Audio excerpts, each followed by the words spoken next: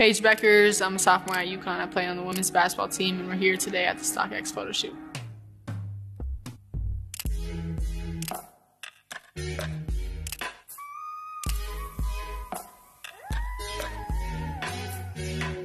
I think basketball is just a game of up and up and down. So you're gonna have great times, you're gonna have bad times, but I think all the bad times makes you grow and makes you stronger and makes you better as a player and as a person. So I just through all the hard times. I mean, I always knew that a great time was gonna come out of it. So I just stayed stayed in love and just kept with it.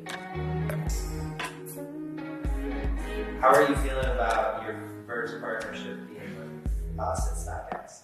Yeah, I'm huge on fashion, huge on clothes, huge on shoes. So, and I think that StockX, I'm everybody that I sign with, I want to make sure my values align with them and there's align with mine. So I want to do great stuff in the community. I want to be able to reach people that don't have the same opportunities that I had growing up and don't have didn't have the same blessings that I had. That's spreading awareness, spreading change, and just I mean, StockX has great ideas. I have great ideas, and I'm glad we're we're able to come together with the light that I have now, um, as a white woman who leads a black led sport um, and celebrated here, I want to show a light on black women. Um, they don't get the media coverage that they deserve. Um, I was so nervous leading up to the speech. Um, all day I couldn't eat. I was just so adamant on making that statement and I wanted to make it right. I wanted it to come out right. I wanted my message to be portrayed in the right way. So for me to go up there and say what I needed to say and be able to share that message, it, it meant a lot to me. How do you think your style has evolved over time? Well, when I was younger, I could not dress. Um, I wore Kyrie's and Hyperdunks to school, like with normal clothes. So it's came a long, long way.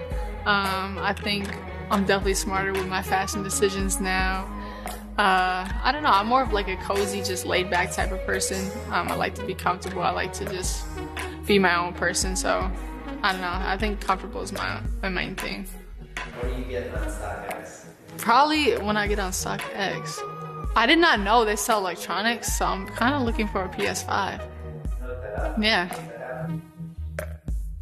Five years, I hope to be in the league, um, playing in WNBA but also just making an impact. I know that NIL is going to be huge for me in college, so continuing that light um, and continuing using my brand and my image to make a positive influence in the world.